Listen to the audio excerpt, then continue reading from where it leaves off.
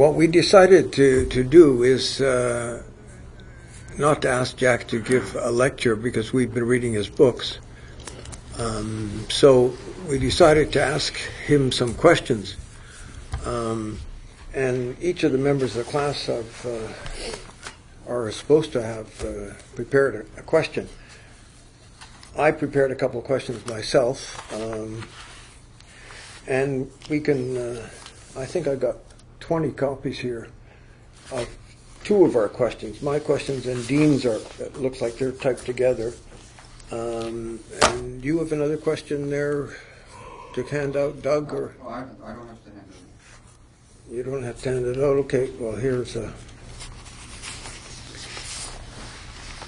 So we won't start with my question. Uh, start with the second page, I guess. Dean, you want to start with your question? Sure. Uh, I made a sort of a bridge version because it ended up being a bit long. Because I kind of tend to be a bit long-winded, I guess. So Could I have I'll read the one that I something have. to write on the back of? Just, just even a couple.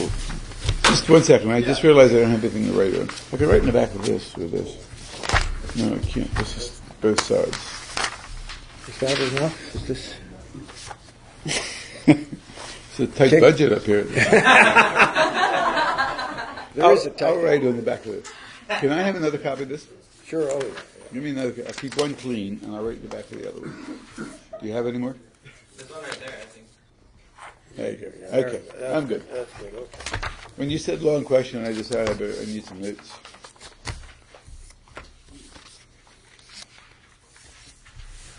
Okay. So um, actually, the, the back question is the one I'd want to start with. But like I said, I'll I'll read the one I have here because it's a bit shorter. So. So probably this. one. Um, so my question comes from the insistence of God, which you're, which we're reading now. Um, in your chapter on Zizek, uh, you talk about his politics amounts to allowing capitalism to collapse under its own weight. So if you know all the dialectical cues, you can sit by and wait for the collapse while ignoring the material needs of specific immediate neighbors. Um, and since Zizek can't expect Paul's parousia, his messianism results in a kind of quietism toward particular persons in the hope that the system will self-destruct. So to this you reply, there's no guarantee that what follows capitalism will not be worse, uh, ultra-capitalism. So you're worried about Zizek ignoring the least of these, and that the event he hopes for could more readily actualize the threat rather than the promise of the perhaps you've been developing. So you write, when I read philosophers saying such things, I think there is more good advice about the political order in any randomly chosen edition of the editorial pages of the New York Times than is dreamt of by the philosophers. They howl at the moon of the revolution while in the meantime the right wing takes over everything. So as you know, you and Zizek are closer than it may seem. Uh, in one sense, Zizek's Holy Spirit mirrors your notion of the insistence of God. So God only exists insofar as we actualize God here and now uh, in the struggle for justice. But you reject the idea that the Holy Spirit is the idealist spirit of communism, which is a bit too determinate. Instead, a theology of the perhaps has a materialism which is found, as you say, in cups of cold water, given in fidelity to faces, not divining the dialectic. But is there a sense in which this, too, is a certain quietism that fails to change the actually existing material conditions proliferated by capitalism, which we know are often the root cause of the wayfaring strangers needing a cup of cold water in the first place? Acknowledging the face of the other is a move I fully affirm, but how does the theology of the perhaps, which doesn't rely on a determinate Holy Spirit, give us a point from which we might actually work toward radically changing our present material conditions structurally? So your notion of the event, the kernel of radical theology, seems to lend to a more revolutionary than a reformist position. But in dialogue with Zizek, you appear to defend the opposite, the reformist view that aims to work within the structures that be rather than to surprise them. So to put my worry bluntly, are you potentially howling at the moon of justice while in the meantime neoliberalism takes over everything? Okay, very good. Um, let me just say, just as a pre- preamble, that the record of the Holy Spirit intervening on our behalf is so bad that you wonder why people keep bringing it up. Um, Holy Spirit, you know, I don't take to be an effective metaphysical force. I think that's a mystification. Um, Zizek's uh, conclusion to the parallax gap just sort of knocked, knocked me backwards off my chair and you know left me on the floor. I mean, I, it's Bartleby. After all of that, after all the bluster, all of the brilliant analyses and all the movies I had to go see, uh, um, we get Bartleby. Wait for the. I mean, the, the most classical Marxism. You know, waiting for the no labor unions so that we don't appease a terrible system and end up making it stronger and wait. And that seems to me just to be a position that's difficult to defend, and I can't imagine anyone defending it actually. Um, Is Jack loud enough? uh, yeah, is that okay? We, you right?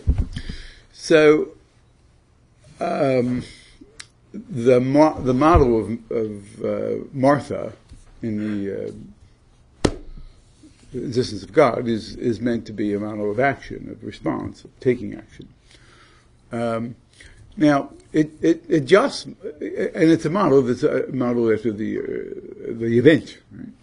Uh, now, uh, I, I mean, it just might be that the event would present itself in such a situation that something of a revolutionary character might happen. That, that, that revolution might turn out to be terrible, make things worse, and get us right back to where we started when we started the re- revolution, except now it's worse, which is we, we see happening in uh, the Middle East. We're overthrowing terrible regimes to rein, end up reinstating even more terrible regimes. Which is not to say that you don't occasionally want the occasional revolution if you the moment is right. What I what I think is Derrida at one point asks, "Where do we begin?" he says, "We begin where we are." And um, so uh, I try to think about situations in which things happen, and and things are transformed. Um, and we just we're celebrating now the 50th anniversary of the civil rights movement in the United States, and we just celebrated the uh, march across the bridge in Selma. We celebrated a, little, a, few weeks before that Rosa Parks in Montgomery, Alabama. So Rosa Parks. I take the case of Rosa Parks. I think that's a good example. Um, as as teachers yourselves, I'm sure you know you only choose examples that support your point, so, and and you avoid the ones that don't. Um, Rosa Parks refuses to go to the back of the bus when she's asked to give her seat to a white person. Um, and as Lyotard, what Lyotard would say is that links. It linked. You know, it, it caused, uh, first a widespread, it triggered, was the catalyst for a widespread uh, bus strike in Montgomery. And that led to uh, an even wider uh, moment in the, in the civil rights movement, which consisted in getting this relatively unknown pastor down on Dexter Street who was interested in these things to see if he would take over this, this wider movement, and his name was Martin Luther King Jr. And now, Rosa Parks had refused to sit in the back of the bus ten times before that. A thousand other black people had refused to sit in the back of the bus before that. But what she did from in, in, insistently within the system in which she found herself, we begin where we are, was be in the right place at the right time and do the right thing. Could have been the right thing at the wrong time. It could have been the right thing at the wrong place the wrong time. It's the right thing at the right place at the right time. And that linked, it, that co- pulled a string in a web of Uh, of social and political and cultural and historical conditions that linked, and that actually was a string that was going right into the center of the of the knot and produced a reaction. Now, and a thousand other or a hundred thousand other similar attempts did nothing. They just got beat up or killed or whatever happened to the people who resisted before that. So it seems to me that um, action, m- more often than not, consists in interventions. That the we can't make events happen. Events happen to us. Right? and events are the coming of what we can't see coming. So we can't make them happen. But what we can do is provide for the conditions to let them happen and do uh, for, to sort of facilitate in their possibility in, in making them possible. Um, and that, it seems to me, consists in intervention, because it's the same root of event, of coming, coming between, intervening in, insinuating yourself inside uh, a system. Very often, when we have massive, large, transforming, revolutionary changes, it's a disaster.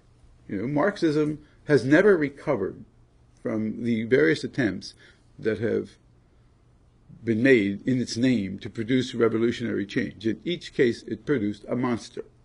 Right? There's a monster on the left and a monsters on the right. The post-structuralist movement of Derrida and all these guys was spawned in 1968 when they said, enough. Marxist, leftist, uh, revolutionary transformation what that gives you is Stalin. What that gives you is the, the, totalitarianism of the left. That doesn't mean that there aren't moments when a revolutionary sit down, you know, a, a, a strike, a, um, Gandhi, when you can't strike large. But whatever you do, you do something. You know, you strike large or you intervene. I think for the most part, changes come from interventions. And, you know, Ronald Reagan did not realize how utterly he was going to corrupt the United States, how thoroughly he transformed it into a greedy, acquisitive, xenophobic, homophobic, aggressive, militaristic, mean-spirited place. he, he didn't think he could do that much, but he did. He was he was successful beyond his dreams, and he, he, he pulled a string. He said, you know, America's made up of welfare queens. Welfare queens. And that struck a chord. Barry Goldwater, 15 years before that, tried the same thing, and he lost he lost 49 of the 50 states. He was laughed off the, the, the street. Ronald Reagan said the right thing at the right time, or the wrong thing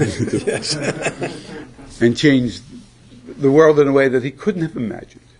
He wasn't smart enough to imagine what he, what he was going to do. And so I think change comes from strategic intervention as often as not, more often than not. Either way is risky business. You may set off a disaster either way. Um, I'm not denying the, the, that the opportunity, the eventive situation might present itself in which revolutionary change could occur. And it might just, in the days of the internet, be set off, you know, in a moment, in a flash. But for the most part, I think effective change, real change, alters things. And it's relentlessly altering. It's water dripping on a rock. It's constant intervention. Um, either of those possibilities seem to be better than what he's talking about. I mean, what is he talking? It's crazy ideology. I mean, it's crazy talking. You know, he goes around spending all this time talking about the, the menace the, of the big other that we believe in. And what's he believe in? He believes in the big other. He thinks the wheels of revolutionary history are going to, you know, that the the, the, the, the world historical spirit is going to take the wheels of history in its hand and eventually crush capitalism just so we, as long as we stay out of its way. I mean, you might as well believe in devils battling with angels, you know, and, and Jesus comes and clears the air of the angels so we can all, uh, of the devil, so we can all rise to heaven.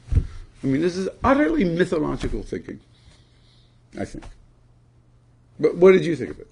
Well, I, uh, I appreciate your response. I, I mean, I share kind of your both, I guess, your sympathies and worries with Zizek. Um, I think I had trouble parsing out, you know, the attraction of Zizek is you get a certain attention to structural problems, right? That's why he's right. such an attractive person. It lets you get a handle conceptually on what's happening around you, right? And um, so I guess I was trying to find in the theology of perhaps, which is sort of a certain alternative to what you characterize as a strong theology in Zizek, uh, I'm trying to figure out, you know, what would be the kind of resources that you would take to understand these kind of structural problems, in addition to having sensitivity to, you know, immediate other person. Well, I, yeah, I mean, I, I, I, I certainly don't think, by the way, because you made some reference to neoliberalism, I, I do not think in term of, of terms of liberal subjects, which is another piece of confusion of Zizek about me. Uh, I mean, he didn't read The Weakness of God. He read, after the death of God, he read the interview after the death of God. He seized on one paragraph in that interview um, and uh, got me mixed up with Vattimo a couple of different times and quoted said he was quoting me he was quoting Vattimo. In, in the original text, but Columbia University Press made me strike it, I said, I guess all Italian names sound alike to him. And, and he said, they said, well, that sounds sort of mean. And t- so I took that one out. Um, so it was care- it was a careless reading of me. It does not associate, you know, I, I have nothing to do with neoliberalism. And my notion of the alteration, the mutation uh, of conditions, social, social political conditions, does not depend upon liberal subjects. It depends upon notions of systems, inter, interwoven networks of things in which we intervene within them, so that individuals are like nodules within uh, a woven fabric, points where the threads cross, and if you can pull the right thread at the right time in the right way, you can shift things around. Um, and if you keep the system off guard, so that the, the, coming of something that you didn't see coming, which is usually the way things happen, something comes along that you didn't see coming, will be uh, disposed for its uh, open to it. It'll strike the right chord at the right time. And uh, it's what Hegel calls, in a metaphysical way, the Geist. You know, it, it's somebody says the right thing at the right time, and it it, res, it, it interlinks across a, an interstitial lateral system, I think. Yeah, thanks. I, I like that response. It's helpful. Yeah, I'm, I've, I have a new book coming out from Fortress that uh, in which I talk about interventionalism, which is because you know I, I, do create sometimes among uh, people who have, but among Zizekians, let me just put it that way that impression, and, and it's because of him. I mean, he's he's you know he's a uh, star. You know, he's he's he's he's Elvis this nowadays. He's Elvis, and um, he is, he is. I mean, you you have a conference here at ICS. Invite Zizek. You know, you'll need an auditorium for a thousand people, and people will show up with Zizek T-shirts. Um, so I need to say something about that. Because he's got two, when he speaks, it's with a, you know, a, a great magnifying voice, magnification of his sound. And so it goes all over the place. Okay. If I go on too long, by the way, just stop me because you got a, a number of questions you want to go through. Chris, do you want to ask your question? Sure. Did you did you uh, make a few copies of it? I don't have this many copies. but oh, give us a few. So. Um,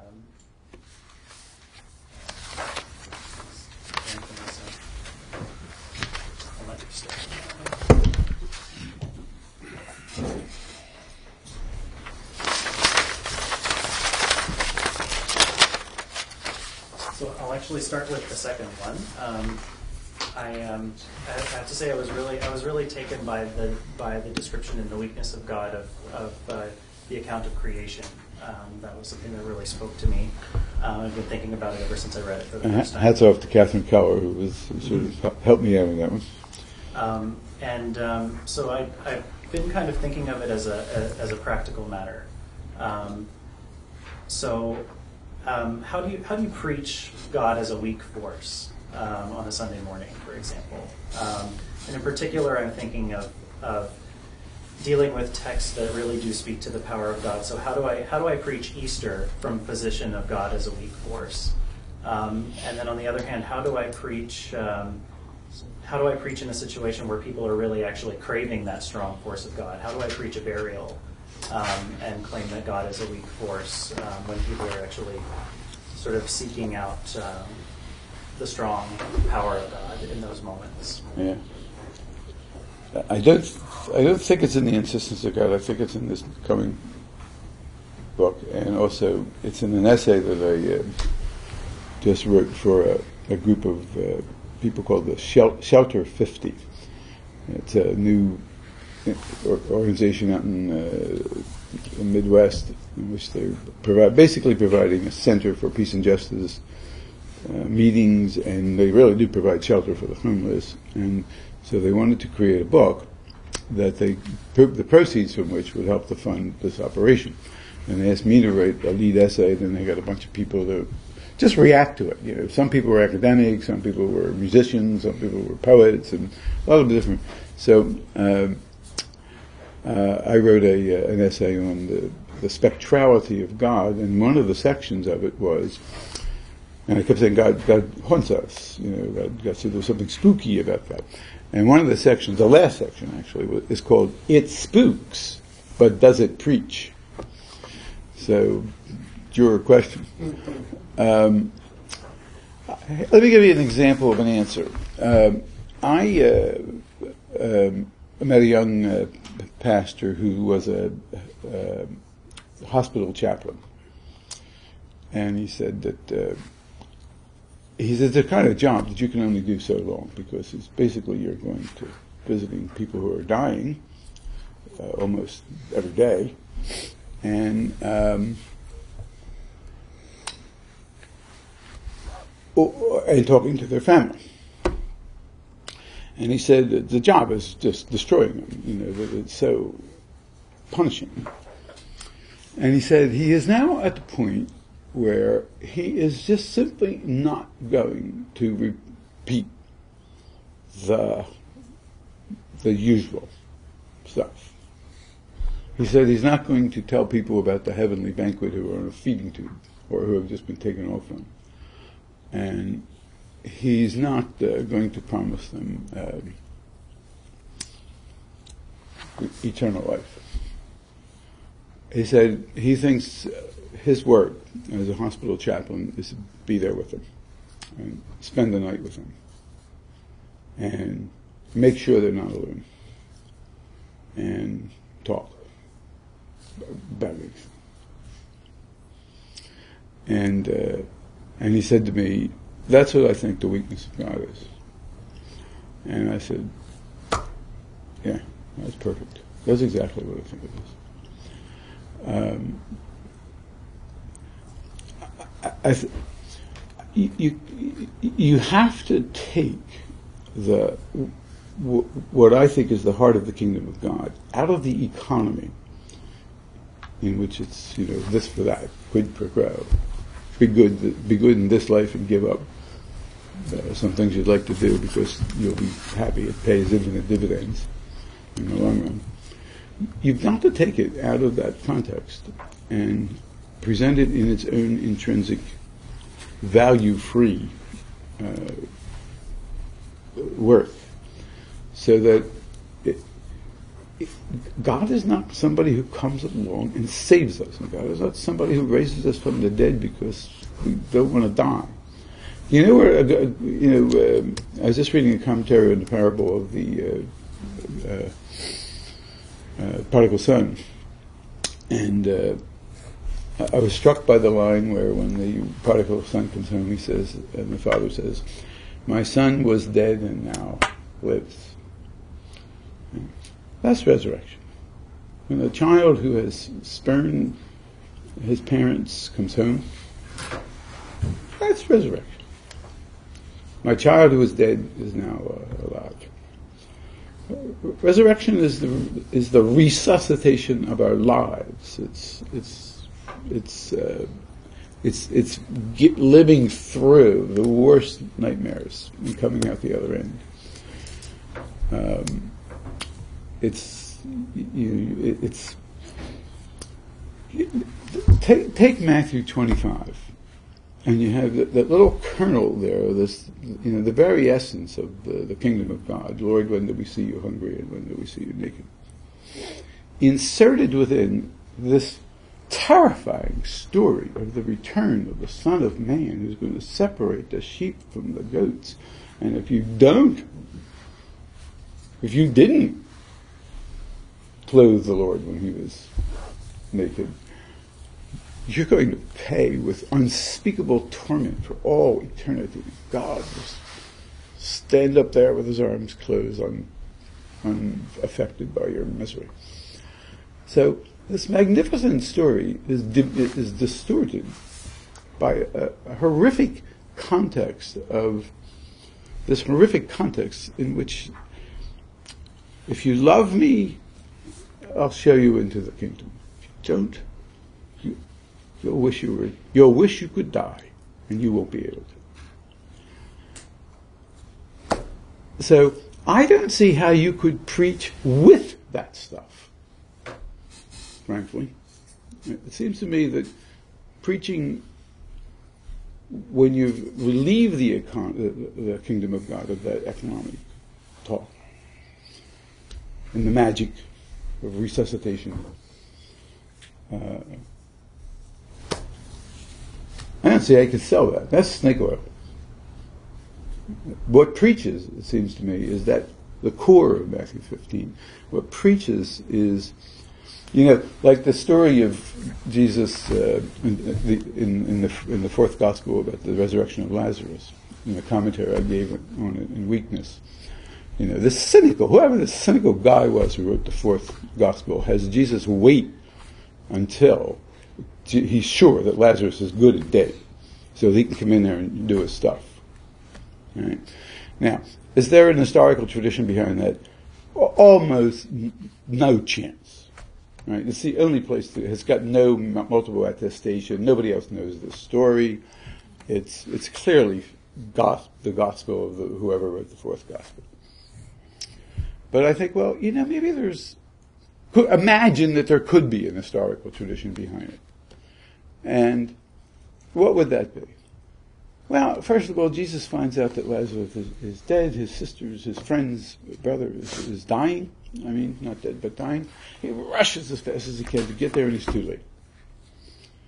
And then he spends the night with Mary and Martha, and they talk, and they tell stories about their dead brother and the sun comes up, and somehow or another, the sisters are able to get through the day in a way that they wouldn't have if Jesus just hadn't been there for them. That's resurrection.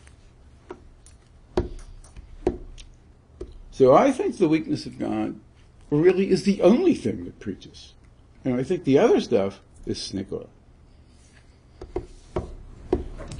Elmer Gantry. Okay, um, I'll uh, I'll ask my question now because it it come it's a kind of a long question. I think I gave you a copy of that, Jeff. All right. Because it's uh, you might think what I'm going to say is magic too. So so we'll have to uh, look at that. Did you? Have you most of you got a copy? Yes. Um, as you say, on page uh, 62 of insistence. Maybe it's, I don't even think it's 62. Maybe it is. Okay, doesn't matter. Anyway, radical theology is confessional theology confessing perhaps. That is, a theology without theology, an impossible, haunting theology showing up as an historical perhaps confessing theology of the spook, spirit event. I like that very much. I like that uh, way, and uh, that's why I consider myself kind of a twin. My questions, however, and, and you will ri- uh, realize, Jack, that this is a, it turns out to be a, a refrain that we've uh, played before. My questions, however, start with what you emphasize at the end of insistence. Perhaps is older than God. To be true to your emphasis on ambiguity and undecidability, I would argue you need to add a phrase. Perhaps is older than God. Perhaps not. reading that perhaps is older than God gives the impression that that's the way it finally is. But, in fact, is not that your construal, your hypothesis? As you point out a few pages earlier, when we say ultimate, we are usually confessing the limits of our imagination. Ultimate just means that we have reached our limits, the outer reaches of our present horizon. Or as Derrida said in Memoirs of the Blind, I don't know, one has to believe. That is to say, your confession is that perhaps is the non originary origin, which is the more radically neutral, clears the space for the chance of grace, but equally for the chance of disaster. So the emphasis is on it's equally a chance for disaster as it is for grace. Thus, in every one of your books that I've noticed, after extolling the virtues of faith in which someone stands with those who suffer, you place the mercilessness of Nietzsche's disastrous view of the anonymity of the cosmos that four and a half billion years from now, the call of justice will have sunk into oblivion, that no one is there. In radical hermeneutics, it's the choice between the religious and the tragic. Um, in Against Ethics, you say that you're uh, haunted at night by Nietzsche's uh, vision of the disaster. For me, I read that to mean that the chance of grace is totally a matter of chance, random, impersonal, iffy, to say the least, if you could even call it grace. Perhaps, moreover, as a result of perhaps being older than God, God is, you maintain, not eternal, but contingent. All this makes me wonder. Now, my alternative uh, look at it. However, if love is the energy, glue, eminently firing the universe, love is my name for God to distinguish the God self from a supreme transcendent being who's had a good run, as you say in one of your books. if love is older than perhaps, then although life remains a risk and is chancy, it is a beautiful risk because love is stronger than death, and somehow, some way, I don't know how, grace will surprise us and embrace us. Then, although the when and the how remain unknown, there is no if. The gift of grace will visit us and embrace us there is a little bit of an if, uh, provided we are open to being spooked, surprised by love, even in the midst of death. I want to turn the spooking into a positive as well as a, a, a negative thing. This makes me also want to look for some way beyond the necessary contingent binary for God. To be the God of love is to be the creator because love is self giving, going out to the other for the sake of the other. And to be the God of love is to be a covenantal God who dwells in and with all the family of creatures in the creation.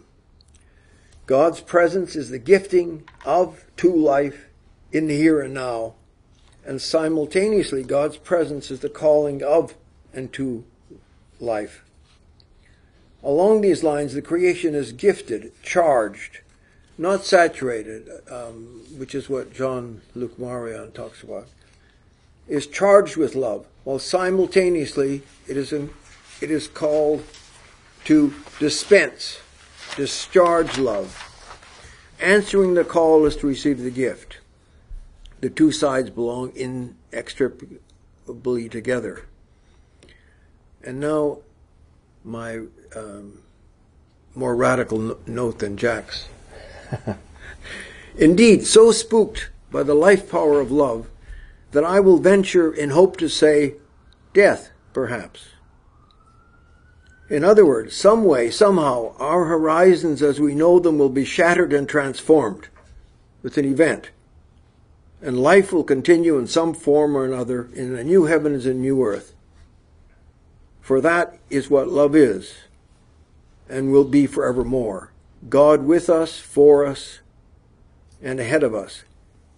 That, I submit, is not postmodernism light, um, Westphal, or a kind of fideism, but so open and exposed, so radical, so impossible, that nothing, even death, can separate us from the love of God.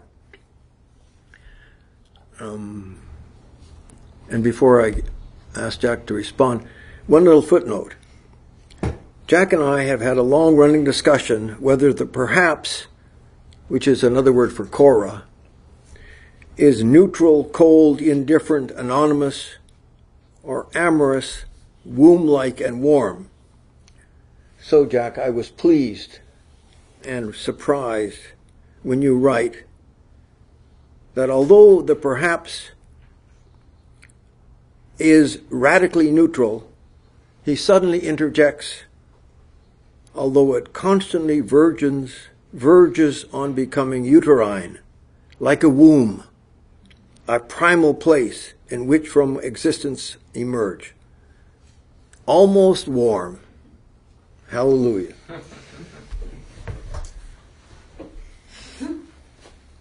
So you can do No, that's a. Uh, this is an ancient and venerable uh, debate. This is at least 20, 25 years old, and counting. Maybe we could be buried in the same cemetery and we will continue the debate. okay, when I say, um, it, it, thank you. It's a pleasure to have such close close reading. I can't imagine anyone who could give me a closer reading than, than you. Um, when I say per- perhaps it's older than God, what I should have said to defend myself against this, uh, what your uh, point, the point you're pressing, uh, is older than what, uh, you notice I will very often say, instead of saying God, I'll say the name, in parentheses of, and then the word God in quotes. So if I say perhaps is older than the name of God, then it is older. Because what we what we know, you know, what we have reasonable um, grounds to think is that we are uh, a moment in a universe that is to the best we, they can tell us right now, 14.8 billion years old, um, in a little uh, solar system, in a galaxy, in a universe that's heading for. Well, we don't know what. I mean, the, the dominant right. theory is that it's heading for entro- entropic dissipation, but they just discovered a vast black hole. Exactly. Which lends support to the other theory, which is um, this this man Paul Steinhardt at uh, uh, Princeton um, wrote a book called Endless Universes, and he said that it just it's just not good physics for him to start talking about uh, matter coming out of nothing or returning to nothing. It's just you know, this is not physics. He thinks it's uh, some kind of uh, snake oil. Snake oil, yeah, philosophical power speculation about physics. And um, he has a, another account in which, well, in, in, which there's universes spawn other in universes forever. The, details of it I don't understand, but I, I, do know more than I can explain more than that, but it would take more time. Um, so maybe that that'll be the case.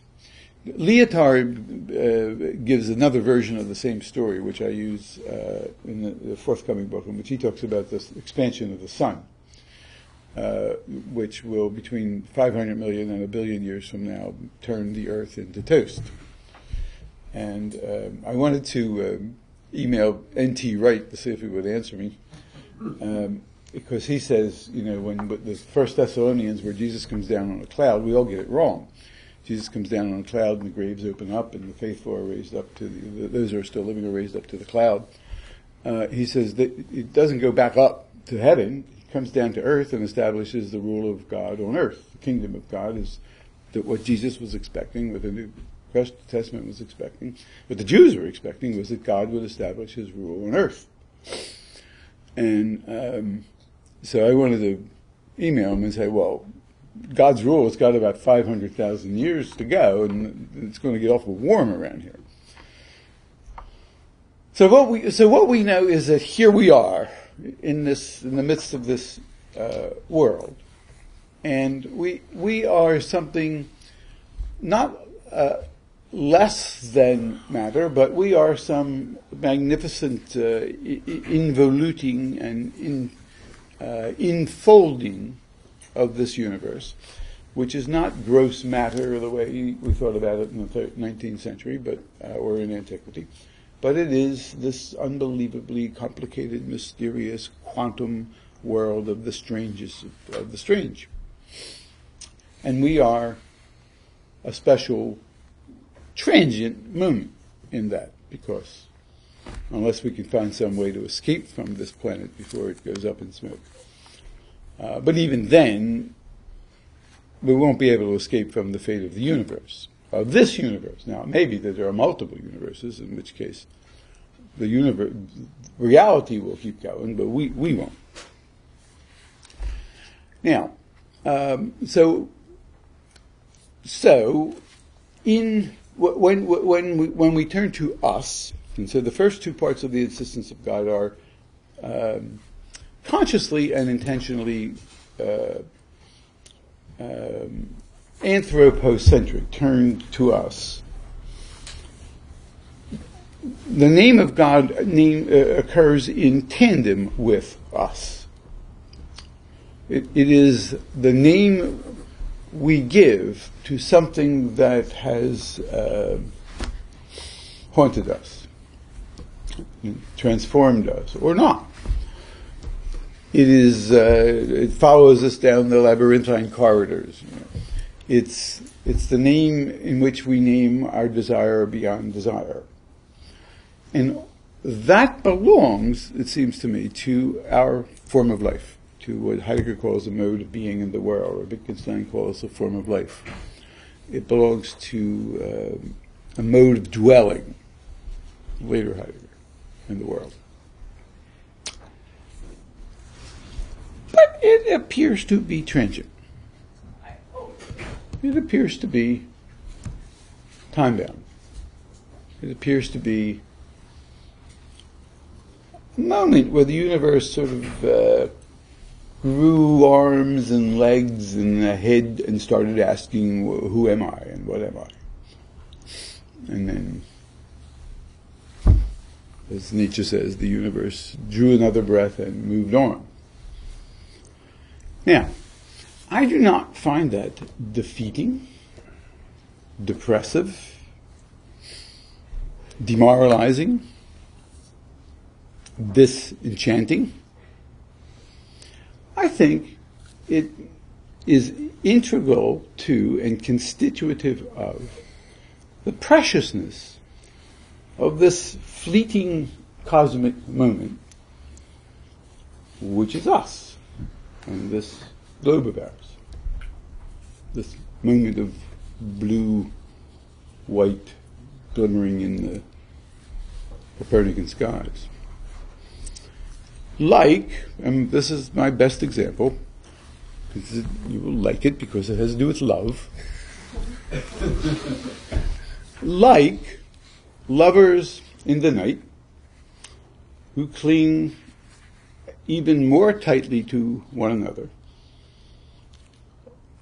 knowing that in the morning they must part. It's the finitude, the temporality that constitutes the preciousness of life.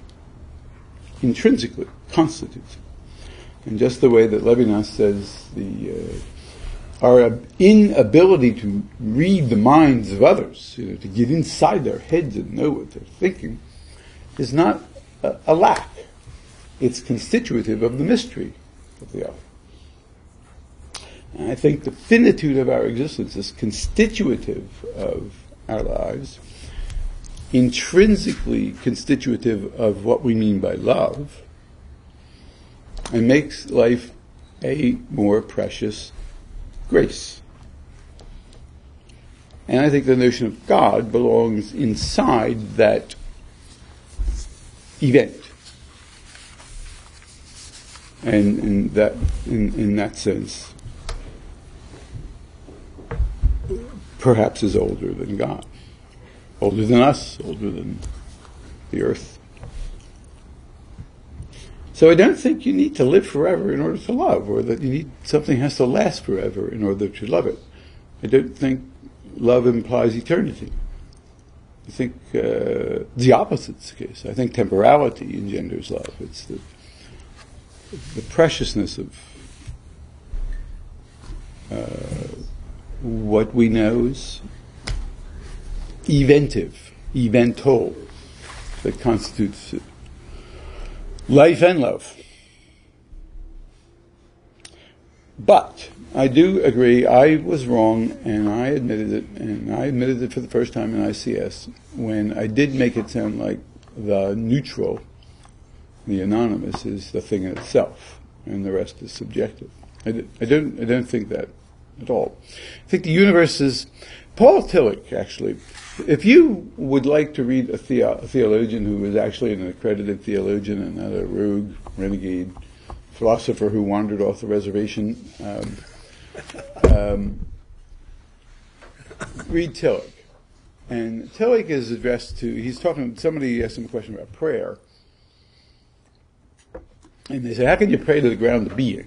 If the ground of being is not somebody, pray to that? And he says, well, the ground of being is the ground of persons as well. It's not that it is less than persons, it is the deep root from which persons emerge. And so when I said the uter can be uterine, I was thinking of you directly, but it now occurs to me that that's a good Tillichian answer as well. That the ground of being expresses itself for him in in all the various forms of uh, cultural life, not just in religion, and um, in particular things, and in persons uh, who are personal relative to what sounds like the impersonal ground of being. So the the ground of being is not impersonal, but it's the pre-personal ground of which persons are emergent uh, property. So I don't want to say that some impersonal. Now, there's a, there's a new version of this argument, that discussion that Jim and I are having, that just when you get to the end of the insistence of God, you'll see a whole new round of French philosophers, young bucks, uh, who are not my problem because I'm retired. You know, they're, you know, let the young guys deal with this one. Uh, who are reacting against continental philosophy, arguing that it's subjectivistic, and they press for what they call a, a realist position. They call it speculative realism, and there's one in particular who's quite a good writer named Ray Brassier, who does this sort of uh, Nietzschean routine about the. Uh, except he doesn't even like Nietzsche because he thinks Nietzsche's too sexy, you know, too much affectivity in Nietzsche. Uh, about the, the universe in a trillion trillion years from now will be just entropic dissipation. And he thinks that makes nonsense of religion and really even the humanities, I think. You know, I mean, he teaches philosophy, but I think he just thinks we are really just uh, very, very, complex neurophysiological uh, systems that we haven't quite figured out yet, but we're on the way to figuring it out and uh, the universe is, you know, we're getting a good, pretty good handle on what that is too. And so, religion and life world and phenomenology and poetry and all that is really uh, ultimately a matter of science. And that has taken hold in uh, France. Uh, so there's a whole new, it, it's a student of Badiou. This guy Badiou is a colleague of Zizek. Uh, young man named, a younger man, he's in his 40s now, uh, named Meillassoux. So that argument's all, uh, has recurred. It's where I came in. It's like I watched a movie, you know, and I came in late and I sat to watch the, the part I missed. Meillassoux is where I came in. Back in the 60s, all the phenomenologists were amassing phenomenological reductions to offset uh, uh, scientific realism, you know, and then it went away until this came back. so that's where I came in. Um, but in any case, so, so this argument that Jim and I have been having is now getting rehearsed again. And so I respond to Brassier in the way that I just responded to Jim. I don't think any of that shows anything, does anything to detract from or demean or undermine the, our form of life. Religion is a form of life for me. It's, it's like poetry. It's like uh, it's like history, it's like culture, it's like art. It's a, it's a form of life. It's a way of making contact with what Tillich would call the ground of being, the depths, the depths of our reality. And that it is finite and will pass. As Derrida would say, so what? so what? So, I mean, what? So so what about the the chance of grace and the, and the grace of chance and yeah, it's true. That's possible. I, I, I mean, there is absolutely the case, you know, that I cannot go around saying things are absolutely not going to happen or happen. I just, I, I just, I mean, frankly, uh, but my my thought of that is, well, think about it. You know, doesn't this seem somewhat more likely that? I mean, we now. I mean, I would say most people look back at the New Testament. People who do New Testament research and say, well, you know, I mean, this story of Jesus resurrecting Lazarus was uh, uh, the the, the telling of some Greek-speaking Gentile who never laid eyes on Jesus and who wrote the story 60 years after he was dead in a world where communication systems were not too advanced. Uh, and he's the only one in the New Testament who seems to know that story. Um, and and say, well, actually, a lot of the things that are in the New Testament are like that. And but behind that is the figure of someone who changed everybody who came in contact with him. A genuine, living human being. Who was a healer and an exorcist. And a teller of perplexing stories. And he wasn't the only one, but he was the one that made a difference. And there was something going on there. It's, most of it's lost in the fog of history and it's preserved in memories that are distorting him because they're trying to make him the creator of this new thing called Christianity and uproot his Jewishness, make his Jewishness the enemy that he was fighting, which he would have found amusing. Almost as amusing as Miriam of Nazareth would have found the story of the virgin birth. It would have taken, I, I think, taken her some time to regain her composure upon hearing that story and she just wouldn't be able to, couldn't, couldn't wait till she got home to tell that story to the father of Jesus. So there's somebody back there, some powerful impulse in which an event, cluster of events took place, which had to do with peace and forgiveness and mercy and all the things that cluster around this idea of the kingdom of God. And that is what it is. It doesn't have to be turn, turned into a great cosmic salvation history. Its, its beauty is intrinsic and finite and powerful and everlasting.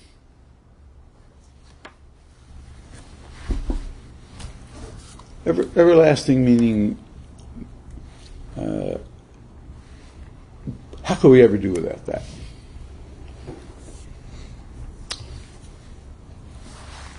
Anyone want to get in on this from the class or from outside uh, visitors in inside the room?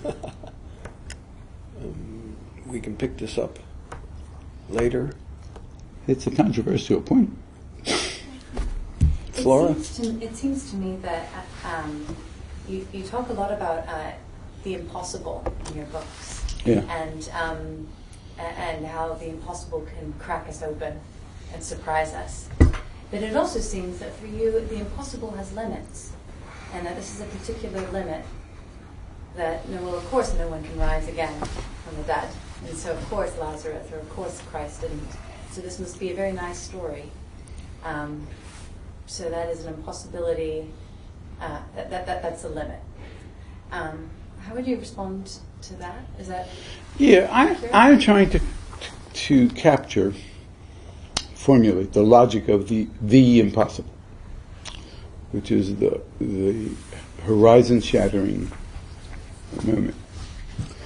But the very first, and, and that's why Derrida calls it the impossible, uh, meaning not a logical impossibility, but uh, a phenomenal, a phenomenological one. The impossible. Um, but the very first thing that Derrida did was uh, engage in the debate with Levinas.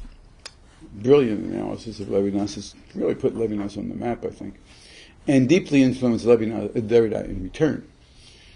Um, so that Derrida never was the same after that, I think. I think Derrida grew up, when you were there yesterday, uh, I think he grew up as a very secular Jewish kid who had no time for religion or this being being being religious Jew, and who was interested in the girls. If you read his biography, uh, he was from a very early on, into, age on, interested in the girls, and he learned enough Hebrew to get himself through uh, bar mitzvah, and then he went to Paris and forgot the whole thing, and um, met even more girls, and then he met Levinas. And Levinas uh, spelled out in an extraordinarily powerful way what you might call the sort of phenomenology of his Jewishness, the phenomenology of neighbor love, and the phenomenology of this inbreaking. And I think it permanently altered Derrida. But Derrida said, uh, in return to, in addition to uh, offering an extremely appreciative analysis, he said, he said, now look, this wholly other can't be wholly, wholly other. You know, if it was wholly other, in as si- simply wholly other, it would just go right by us. It wouldn't, doesn't make any sense. Things that are wholly other are wholly other than. Right? And so they have to be wholly other than something. So you have relative alter, alterabilities. So you can alter things inside horizons and refine them and fine tune them. And then you can have situations where the horizon itself is, is altered. Which you also see in the history of science when some anomaly occurs which causes science to shift in a fundamental way. But it doesn't shift in so, so fundamental a way that it's not science anymore. It's, it's just a fundamental shift, a ch- change in what Heidegger calls Grundbegriffs. So he says, when Levinas talks about the wholly other, he means other persons. So the wholly other has to be the same as me, it has to be another person. And he says that the wholly other comes to me in the bonjour, when I pass someone in the corridor, and instead of just treating them as a, as a picture, picture hanging on the wall, I say, bonjour. And, I, and he says then I'm bowing to their infinity. So it comes to me in the person to person, and it comes to me in language. So the wholly other is wholly other inside a, a very fixed horizon. Right? It's an interruption, a, a, a powerful interruption of, a, of, of, an existing frame of reference. If it weren't, it, it wouldn't be anything. We wouldn't recognize it. I mean, if, if you said, if you wanted a wholly other word, we wouldn't recognize it to be a word. You know, we wouldn't hear it. We wouldn't know it's a word. So the impossible is is always relative to, to the horizon of expectation. Now, I th- and I think that the logic of the impossible is always it's like that. It is it is these transforming changes that, that reconfigure things in politics, revolutions, in science, revolutionary changes, um, in in social history, radical alterations of the relationships between between the inside and the outside, and the privileged and the underprivileged. Um, now, could it be, could the impossible be anything that is not logically contradictory in itself? Well, yeah. It could. And I would never say that I have no reason to believe that this is what, what an afterlife, an eternal love, eternal resurrection is not going to happen. I just think that it is a, it's not the best reading. I, I, I think that I think that what's going on in, in these in religious texts are uh, probings, deep probings of the human condition that are telling us things about ourselves that uh, discomfort us and demand challenge us and uh, ask for transformation. Um, but the metaphysics of Neoplatonism, in which Christianity inserts the, the parables of Jesus, maybe it's true. I, you know, I, I, can't show you that it's not, but it's, it does not seem to me the most plausible uh, way to understand the transformation, the new being, what Paul calls the being. But it is not logically, it's not, it's not a square circle. I think it's, I just think it's, I think it's Christian Neoplatonism. It's, you know, it's, it's, uh, uh, I mean, what Jesus and the, as far as we know, what the, the last two centuries of Judaism in which Jesus was lived, um, belong, Jesus belonged to the Pharisaic tradition, which thought there was a, a, resurrection, and the rest of the Jews did not. And in either in either case, whether which one you're talking about, they were talking about uh, God coming to establish His rule on earth, here, in, in this little planet, and. Um, those damn Romans are going to get their comeuppance and it's going to be God's imperial rule, not not Caesar's. And that's what they thought. And they didn't have an idea of the immortality of the soul, and they didn't have an idea of eternity. They had an idea of the resurrection of the body.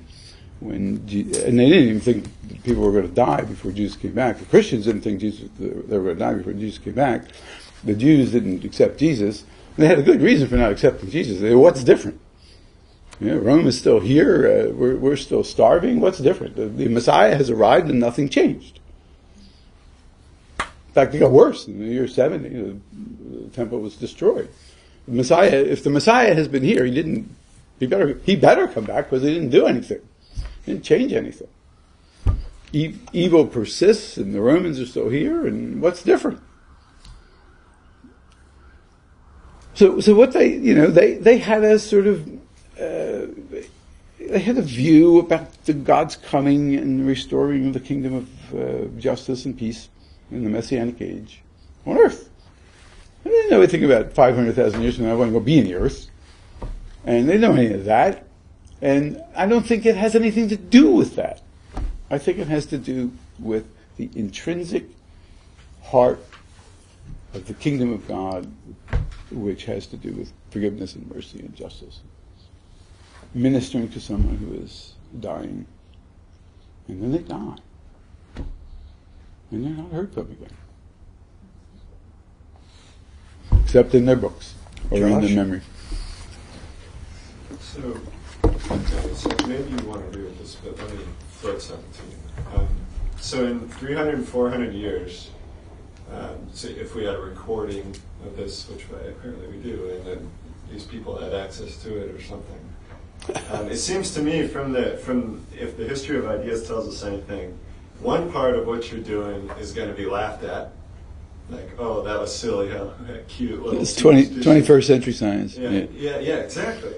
yeah. Exactly. But but one part of that, if they if they understand the problem, is not going to be laughed at because it's still going to be a problem. Namely, problems about what a human being is. Right. Uh, you know, how do we think about the meaning of one and many? These like fundamental concepts. Right. So it seems like what religion is, or you know, whatever it is that it, what, you call your work philosophical theology, philosophy, theology. I don't know. But, I don't know but- Okay. Well, whatever that is, uh, if you look at the history of ideas, it seems like that's that's what has staying power.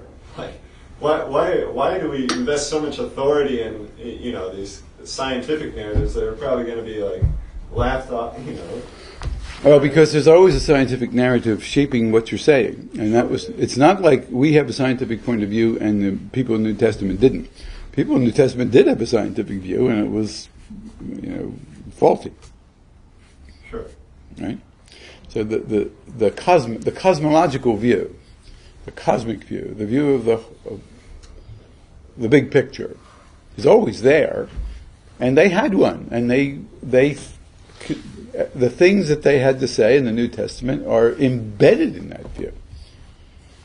Right? I mean, there were there were powers and principalities and bad, evil spirits that were battling with the, the, the spirit, the angels of God, and uh, they they made people sick. They got inside their bodies, um, and it was this arch over the earth, and there was the the heavens beyond the heavens over that arch, and they had a comprehensive worldview which affected everything that was said in the New Testament. And it turned out to be, as you said, we smile at it now. So, what, and what matters is the core of what was going on then, um, which was the problem they had then, the problem we'll have now, and the people 400 years from now uh, will have, will continue to have. And what's that? Although I have my my one, I, I wonder about 400 years from now if we get that far, um, because we will have we have, we will have begun to de- gain the power to detach uh, conscious life from its corporeal base, its its its flesh based existence, by more and more and more and more. Uh, technological enhancement and substitution for bodily uh, faculties, organs, uh, and maybe they'll figure out just what they're trying to figure out, and they're working very hard on it, which is how to detach consciousness from its corporeal base altogether. So you may have a situation, a po- what, what the debate that's going on now called post-humanism. I mentioned it at the end of the the, the, the insistence of God, the, the debate about post-humanism. Well, you really would not be human anymore, you because you would have basically detached yourself from um, a flesh-based based life.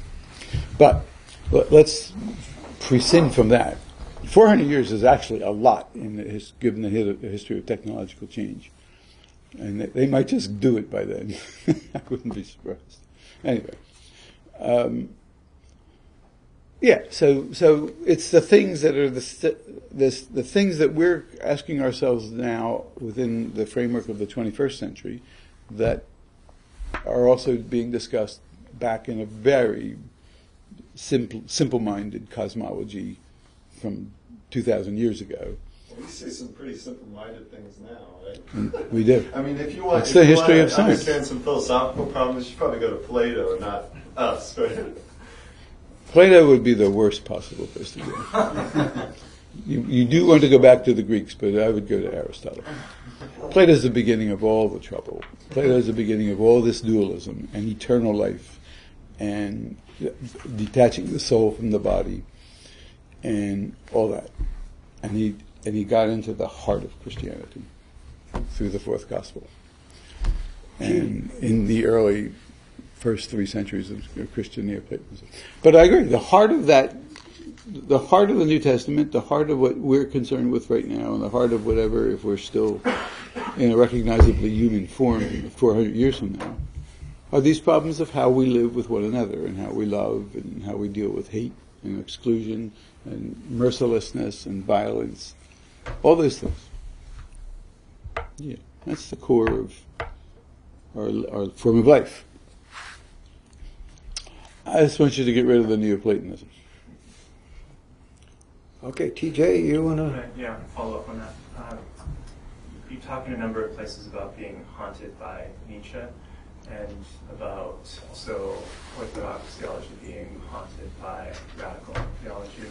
And I, I wonder, when, as you, you presented here today, it doesn't sound as much like a, a haunting as, uh, come on, think about it. This is this is the best uh, account we have of the way things are. And I, I wonder, sort of the reverse. Are you when, when you talk about Mary and Martha and resurrection, it's snake oil, it's magic, it's you, you concede to Jim. There might be a new heaven and a new earth, but uh, it, it seems almost like you wish there, there, wouldn't be. And as you talk about love and the importance of um, transience and finitude, it's like love couldn't be lasting because it wouldn't wouldn't be love. It, it seems to be as good. So in, in all that, I guess I'm wondering are, are you haunted by uh, haunted by resurrection? Was was there a time in your life when, when you were? Uh, and oh yeah. And can you tell us about that? Oh yeah. Well, I mean, I'm a third generation Italian Catholic and uh, grew up in pre-Vatican II world. Is he is he loud enough, or is it just my ears? Oh, okay. Maybe I'm not being loud enough. Can you hear me back here? Could you hear it? Yeah, I mean, I grew up with. Oh, good. I, I do. I talk. I give a lot of talks to to sort of to to, to um, uh, pro- progressive, welcoming community churches, you know, and they're uh, they're uh, uh all people in these places. These people invite me anyway. The people who are willing to me. They're all very progressive places and uh, they're they're recovering. I call them recovering evangelicals. You know, they're overcoming this horrendous uh, uh, childhood in fundamentalism, and uh, and but they don't want to throw away the whole the baby with the water, and I understand exactly what their problem is without ever having for one second been tempted by fu- biblical fundamentalism. I mean, the problem with Catholics is they don't read the Bible at all. so, you know, we are singularly in- insulated from uh, biblical fundamentalism. Um, but I do understand the problem because I had the counterpart in uh, Vatican authoritarianism. So I lived in a world, I grew up in a world where there was an absolute truth and it was well defined.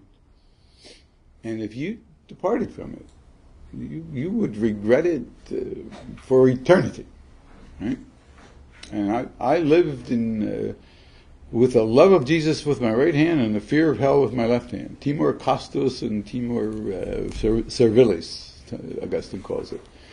The, the chaste or holy fear of, uh, of uh, losing the love of God and the, and the servile fear of being punished. Um, so I, under, I understand uh, all that stuff perfectly, except it's biblical fundamentalism, not Vatican authoritarianism. It's the Pope or the paper Pope. I get it. And I take, uh, and, and so I lived in under Pius XII. I was educated in, all the way through high school under Pius XII. And then Vatican II came along, and when Vatican II came along, it opened the, the windows. The joke is, it opened the windows and everybody jumped out. Um, and I was in the religious life in, in, Vatican II during Vatican II. I spent four years as a uh, member of the Brothers of the Christian Schools, and I the Della, what they call the De La Salle Brothers, and I spent 15 months in a novitiate uh, well, we were silent all day long, and um, we had Thursday afternoon. It was a French order, so we had Thursday afternoon and Sunday afternoon big recreation, and we could talk, and play football or something, and then back to silence and prayer and work and study and prayer and work and study and meals while someone read from uh, a spiritual reading while you were eating in silence. I lived, so I lived in what was, except for the fact that we had electricity and indoor plumbing, a 13th century monastery, getting 13th century theology, the whole, the whole thing, and 13th century liturgy, and you know, maybe not the 13th century, the Council of Trent anyway. And, you know, in the same way that there are recovering evangelicals, I'm, I'm a recovering Catholic, you know, and, uh, and like them, I don't want to throw the water out with, the baby out with the water. I think that there's something going on in the figure of Jesus and the kingdom of God and the, and the Jewish scriptures, and, uh, I, I my, my, understanding of it is, in, in, is sharpened and fixed and focused by phenomenology and hermeneutics and deconstruction which it seems to me recaptures that that form of life, what's, what's going on in that form of life, the event that solicits us in that form of life. And uh, I, I, don't. Uh, I, I, mean, I probably have given you the impression that I think that. Uh, I, think the literal interpretation of the story of Lazarus is, is, is really is magic. I actually don't think that that's, that that's what that was. I think it is literature. I think it's uh, poetry. I think it is a gospel, is a song, a hymn of praise, which is not meant to be transliterated. It is not meant to be taken in any in any literal sense. It's a it's a song of praise to the event that takes place in and under the name of Jesus, of which the memory is preserved in the church. So I say the church is haunted by this memory. And confessional theologies are haunted. See, I think that if you wake up in the middle of the night with a start and think about what just woke you up, you'll hear the insistence of God in my sense. That this is uh, an appeal that appeals to us to love without why. One of the heresies that the church condemned was the heresies of the medieval women, the Frauenmystik, the, uh, the women mystics in the 13th century, from whom Meister Eckhart got this line, love is without why. And, and they meant it. Love is without why. It doesn't, you don't get eternal rewards for loving and you don't get eternal punishments for not loving. If that were a marriage, we'd call it spousal abuse. Right? But Love is without why. It is a, moment of shining beauty, which is loved, expended, enacted for the sake of enacting it, for the love itself, for, for the beloved. Without why. Doesn't have anything to do with an economy. Doesn't, it's supposed to be everlasting. It's, it has nothing to do with being everlasting. It has to do with giving a cup of cold water. And and I think the more literal versions of Christianity that you that literalize the New Testament give us a, a fundamentally fantastic uh, uh, view of things that um, is, is not preaching. I go to these churches, you know, I'll talk to these people and they'll say, well, I went to one, the guy was Jewish. I said, I'm all for Jesus the Jew, but what are you doing here? I mean, I, I, don't get it. I mean, this is the, you know, the such and such Presbyterian church. I mean, what are you doing? He says, these are great people, and this community is beautiful, and the work we do for the wider community is just fantastic. And he says, this, is the, this is the kingdom of God for me. And I said, that's it. One of my, I saw one of my friends, uh, who is still in the, Christian Brothers. In Vatican II, most of them did really jump out the window. Um, there's only four left. There were 46 of us, and only four are left. And he said to me, uh, he says, Jack, uh, you know, I'm a, I went to a reunion, a high school reunion, because we went to the same high school. And he said, uh, he says, no, I'm a lapsed Catholic. And I said, uh, and he's still a Christ, Christian brother. And I said, "H- how does that work? and he said, um, he said, well, you know, I do what I'm supposed to do. I, I go to mass on Sunday and I get the, I do, I keep the rules of the order and uh, I, I do everything I'm supposed to do. He said, but I- I don't actually think any of that is true anymore. I said, well, what are you doing here? And he says, he works in uh, a, a, a place run by the Christian Brothers, but sponsored by the city of Philadelphia, um, which is for delinquent children who are bad, kids who have really had bad lives. They don't know who their mother is, or that they do. She's in jail, and they never met their father, and just lives that you can't, we can't imagine what, what they've, how they've grown up, and they've ended up in trouble with the law. And instead of putting them in uh, uh, the, the system, they put them in this Catholic uh, re- reform school. And he said, "There's my vocation. Those kids. That's what I'm doing here. That's what I do." He said, "I don't. I don't. I'm a lapsed Catholic, but that's my work. That's my religious life." And I said to him,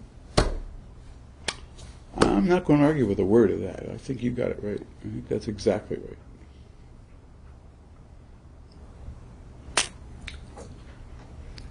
Should we take a moment to uh, have a little break and uh, come back in 15 minutes or 20 minutes, something like that? Is that good?